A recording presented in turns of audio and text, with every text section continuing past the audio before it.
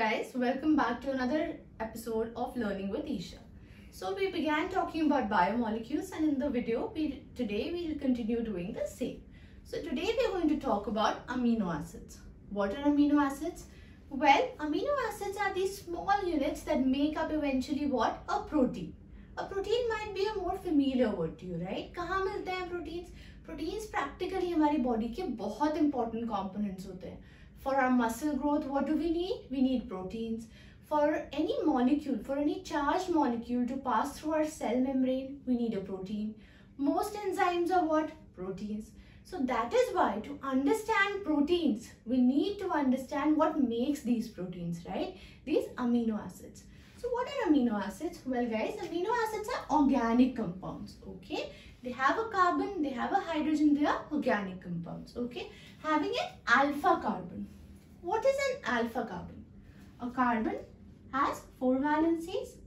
When all the four valencies are different, it is known as an asymmetric carbon. It is known as an asymmetric carbon. The first carbon to which all the groups are attached is known as the alpha carbon. So in an amino acid, we have both an asymmetric carbon and the alpha carbon, which is this one present in the center. Okay. Now this alpha carbon has some substituents. Let's see what are they. First is a carboxylic acid group. Carboxylic acid group. Take a second and try to think which is the carboxylic acid group. Let me give you four options. Is it COOH? Is it OH? Is it SH? Or is it simply H? Okay, the first one is called the carboxylic acid group. Okay, so this is going to make my first substituent. The second substituent is an amino group.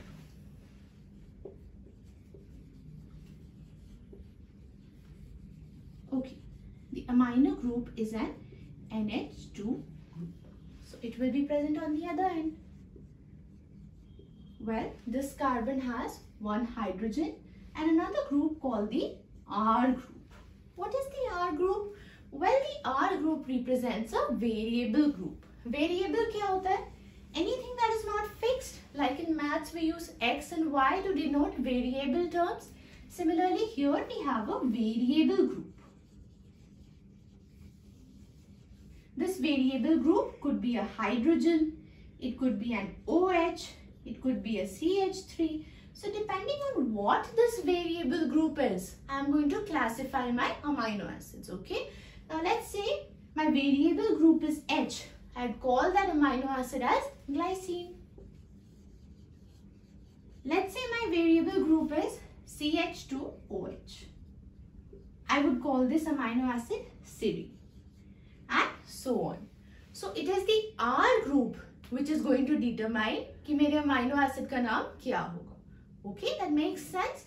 There is a carbon known as the alpha carbon. It has two major substituents. This is fixed.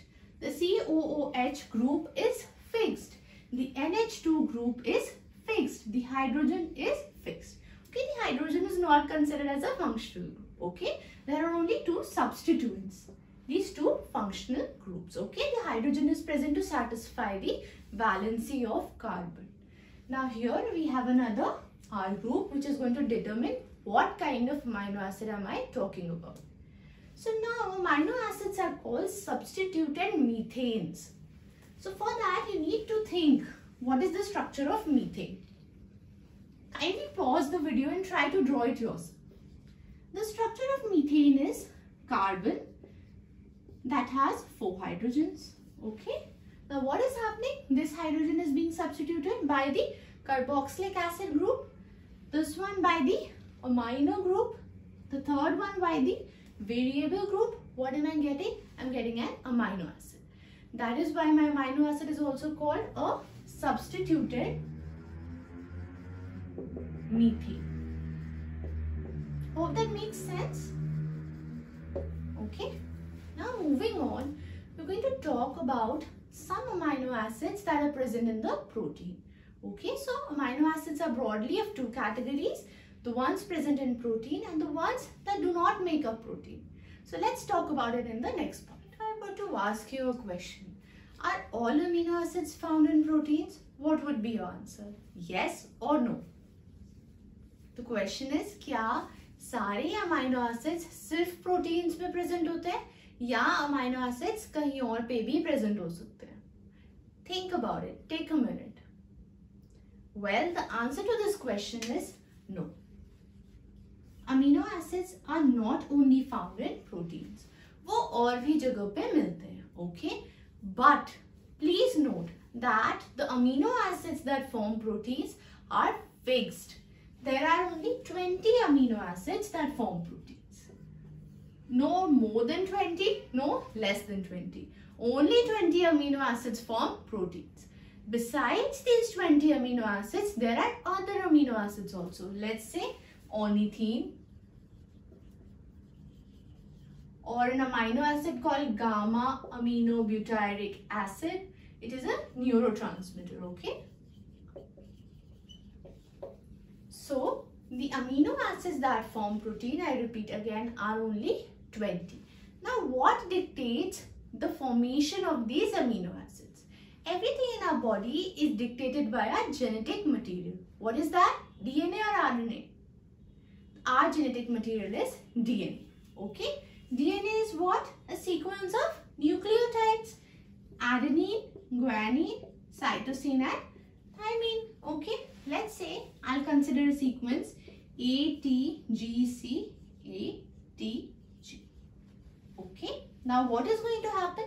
This DNA is going to form mRNA and this mRNA is going to form protein.